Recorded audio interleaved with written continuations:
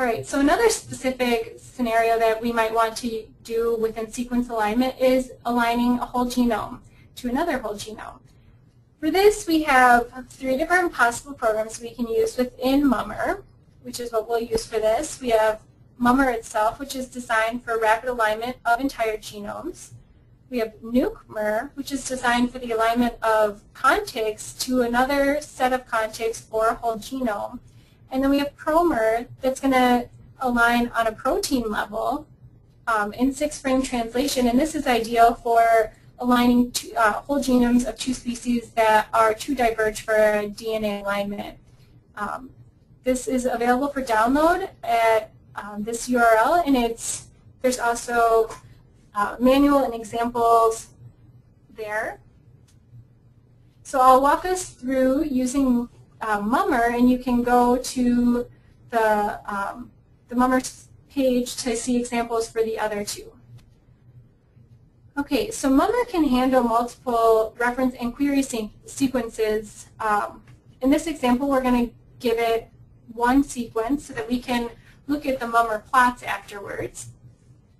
So this is the basic command line that you would use. You put MUMmer, whatever options you want to give it, your reference sequence, and the query sequence. Um, and then to generate the plot, again, you'll do MUMmer plot, your options, and then this match file is going to be the output from this previous um, MUMmer command. So if we look at an example of this now, you can see we'll start with MUMmer. We're going to say give me this dash mum, which um, tells the program to find the maximal unique matches. We'll give it this dash B option, um, which will tell it to compute both forward and reverse complement matches. Um, we'll give it this dash C option, and that says, um, although you're checking in the forward and reverse, only output them um, relative to the forward strand. And then we're going to give it um, our FASTA sequence for genotype 1 and our FASTA sequence for genotype 2. And then we'll say um, with this greater than sign, that means output to this file that we specify, this output.mums. We're then going to want to do the, the MUMmer plot so that we can see this on a graphical level. We can specify um, the x and y axis to say um, only give me from base 0 to uh, whatever we specify here. Um, and then we want to tell it to give it to us in ping format, and this output.mums is the input for this, which is the file we generated up here with mummer.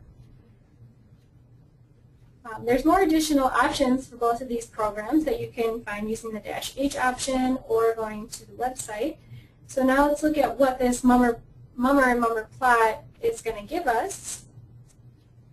And this is what this is what the plot looks like. So for all of the forward mums, they're going to be red, and the reverse mums are going to be green.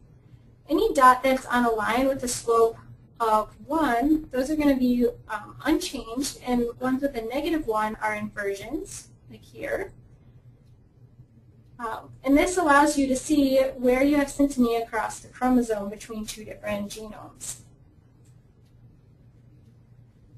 So the last thing that I want to talk very briefly about within these specialized alignments is alignment of short sequences, such as um, microarray probes, primers, um, if you have short context sequence for SNPs. Um, a very nice program to do the alignment for that is VMatch.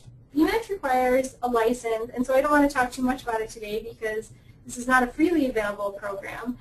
But uh, if these are tasks that you foresee yourself doing, I would look into using VMatch for them.